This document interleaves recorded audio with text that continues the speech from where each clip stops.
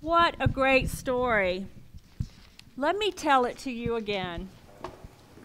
In those days, a decree went out from Emperor Augustus that all the world be registered. This was the first registration and was taken while Quirinius was governor of Syria. All went to their own towns to be registered.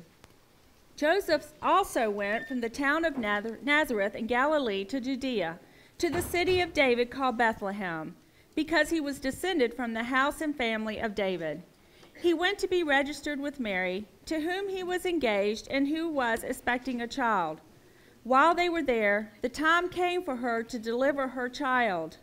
And she gave birth to her firstborn son, and wrapped him in bands of cloth, and laid him in a manger because there was no place for them in the inn. In that region there, excuse me, uh, can we help you? No, don't worry about it. Just keep on doing what you're doing. By the way, what are you doing? We're worshiping. It's Christmas Eve. Hey, who are you? My name's Caleb. I run it in, in in Bethlehem, just on the other side. This is Jerusalem, isn't it? I know. This is Atlanta. Atlanta. Never heard of it. of course, then I only go, I don't get north of Jerusalem too much. Hmm. What are you doing? I'm here in town to get supplies. We're overbooked. This census thing, it's got coming to town every Tom, Dick, and Zachariah. There's a sign above my inn no vacancy. Money's pouring in. I'm loving it. Did you happen to notice the other sign above your inn? It's a star. A star? Never paid attention to them. There's too many of them up there. By the way, you see that? Full moon? Hmm. What do you mean? All the crazies are out tonight.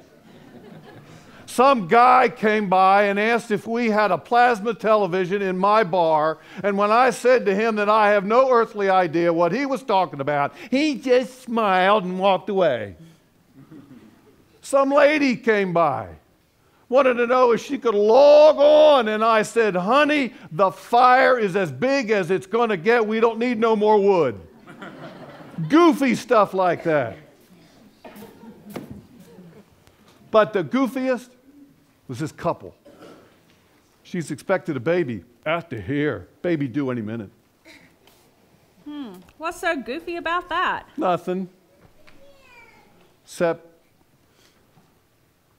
except she kept calling him Jesus.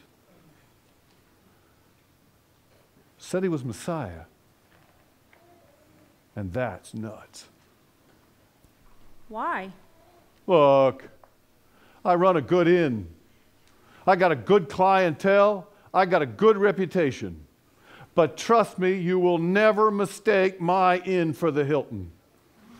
We got no pool. We got no banquet facilities.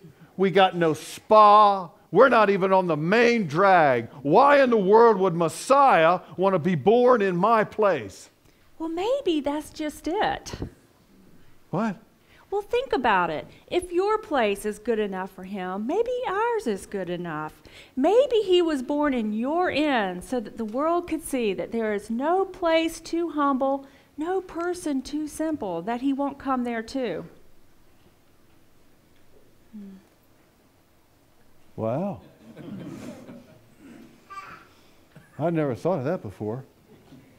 Hey, you know an awful lot about this guy. What's he to you? He's our Messiah. He's our Savior. And we believe that He was born in your inn. We believe that He came to earth to build God's kingdom. And we've been worshiping Him ever since. So you think He's the real deal?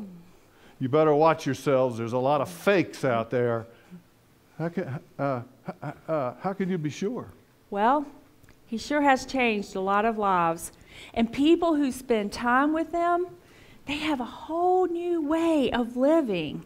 And He's healed people, some in miraculous ways. He helps people to be more forgiving, more loving, more accepting. And maybe that's the greatest miracle of all.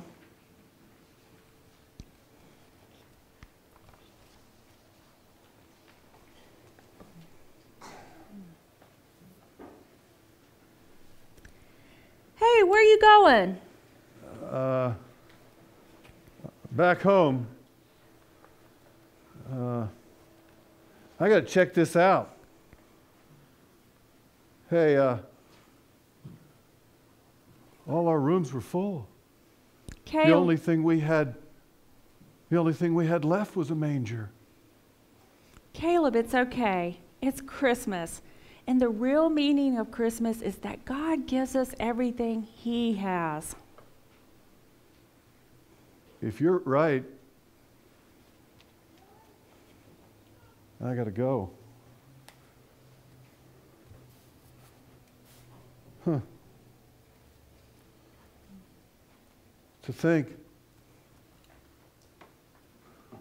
I was too busy running an inn, making money. If it is him, I almost missed him. Even in my own place.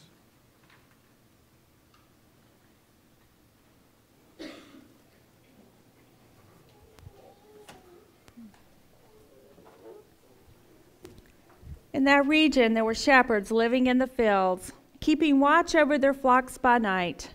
Then an angel of the Lord stood before them, and the glory of the Lord shone around them, and they were terrified. But the angel said to them, Do not be afraid, for see, I am bringing you good news of great joy for all the people. To you is born this day in the city of David a Savior, who is the Messiah. If he is the Messiah, is there room for him in your manger, in your home, in your heart? Maybe Caleb is right. Maybe we're supposed to go check it out because the Messiah's birth would be a terrible thing to miss. Merry Christmas.